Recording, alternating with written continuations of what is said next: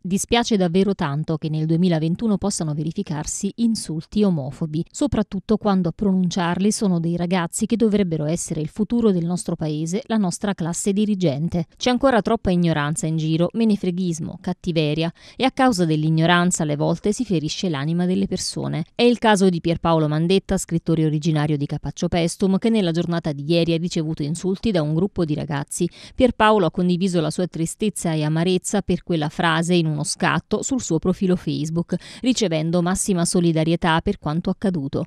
Un episodio che lo ha fatto tornare indietro nel tempo quando a 15 anni i suoi compagni di classe lo prendevano in giro e gli rovinavano le giornate e l'esistenza. Stasera, intorno alle 17.30, scrive Pierpaolo, stavo lavorando nel podere con un amico ed è passato di fronte al casale un branco di sei ragazzi sui motorini. Passano sempre ogni pomeriggio con due cani sciolti, uno nero e uno marrone, ma in genere sono un paio di loro che arrivano arrivano fin lì. Stavolta c'era tutta la comitiva. Pensando che io fossi in casa e quindi di non essere visti, uno di loro ha urlato una frase omofoba. Poi si sono accorti che invece erano nel parco e che li avevo riconosciuti, così hanno accelerato e sono usciti dalla campagna. Penso siano tutti figli delle famiglie del Cafasso, il borgo di Capaccio Pestum in cui è situato il podere. Non li conosco, non posso sapere se le loro famiglie sono di brave persone che non immaginano di avere figli del genere, ma una cosa la so, credevo Credevo che non facesse più male, di averla superata, di essere un uomo che ha trasformato quei ricordi in cicatrici e che capisce che là fuori ci sono persone crudeli, bisogna solo resistere. Invece non è così.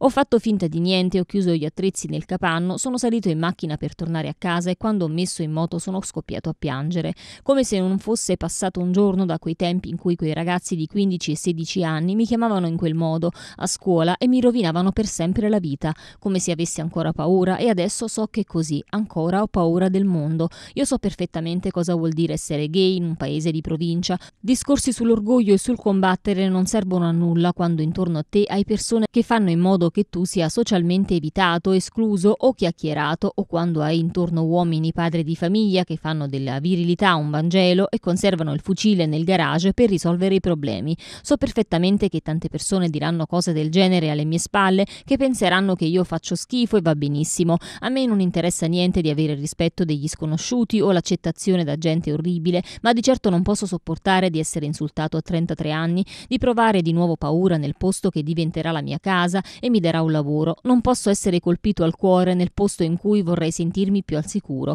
Pubblico questa foto, conclude Pierpaolo, senza vergogna. Non importa se così mi rendo vulnerabile o ridicolo, perché ripeto che non è una questione di forza, di lotta o resistenza. Fa male e basta. È una violenza e non è giusto e la pubblico affinché chi li conosce capisca il dolore che possano causare dei ragazzi di quell'età, perché se lo fanno a me vuol dire che lo faranno anche nella scuola e magari stanno distruggendo l'adolescenza a qualcuno come è successo ai miei tempi. È lo sfogo questo di Pierpaolo Mandetta che ha voluto condividere con tutti i suoi amici su Facebook. Pierpaolo, una persona dall'animo gentile, buona e sempre sorridente, ha ricevuto un'offesa che gli ha riaperto una ferita che non si rimarginerà così facilmente a causa della scarsa sensibilità e cultura cultura di un gruppo di ragazzi senza educazione e senza rispetto, un gesto da condannare e punire che non trova giustificazioni.